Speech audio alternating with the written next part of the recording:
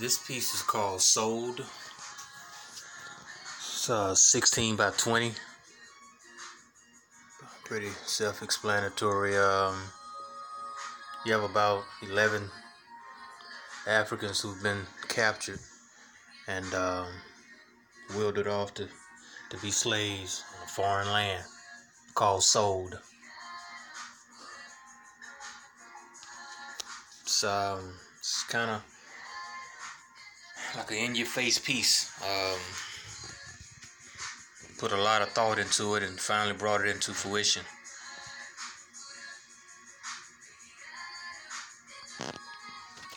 This piece is, I've been told, is very thought provocative.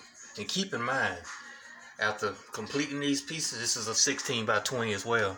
I haven't been so enthused about selling any of my work. Honestly, I haven't. Um,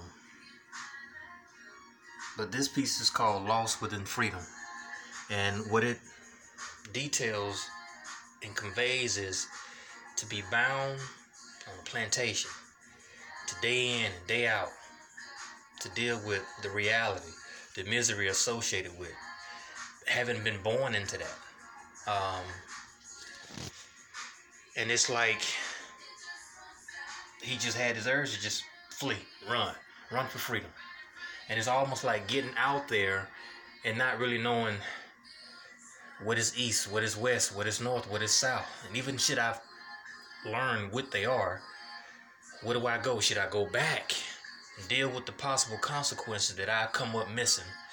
Or go back and make it and continue to deal with the conditions? I mean, at least, you know, there's a cabin that waits for me and um, there's food that awaits for me. Or should I continue to explore and perhaps attain what I've heard about to be freedom?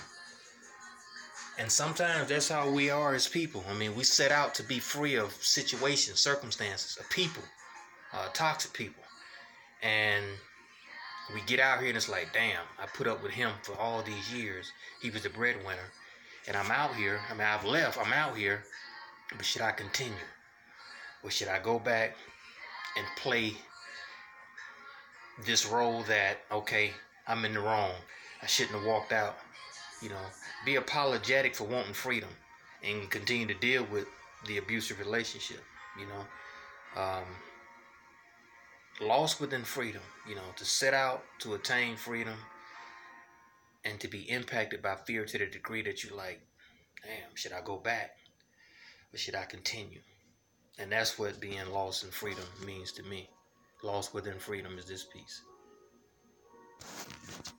Although colorful, this piece is called Light Skin.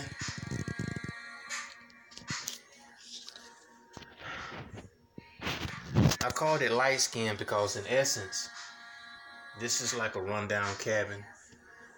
You have your greenery in the background. These are little bushels. And they cake around this rundown cabin. And here is a slave owner who has abandoned one of his female African American slaves in the back. And although you see him, approximately nine months later will come a light skinned child. So I call this one light skin. Yeah, light skin is the theme behind this one.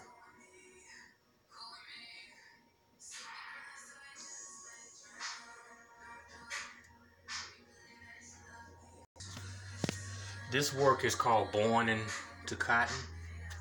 Um, you have generations here already on the scene, already slaves, and here's another, you know, African American child being born into slavery.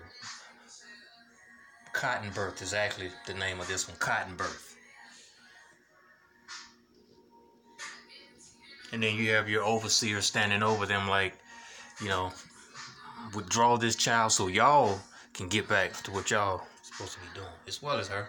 You know, they give her a little time to heal up, but it's back to business, cotton business.